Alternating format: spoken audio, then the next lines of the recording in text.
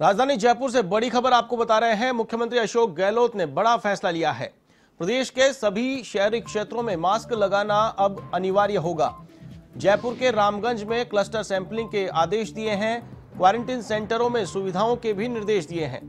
जयपुर में टी रविकांत को बनाया गया है नोडल अधिकारी। बड़ी खबर आपको बता रहे हैं, मुख्यमंत्री अशोक गहलोत ने बड़ा फैसला लिया है, अब प्रदेश के सभी शहरों में लोगों को मास्क लगाना अनिवार्य होगा।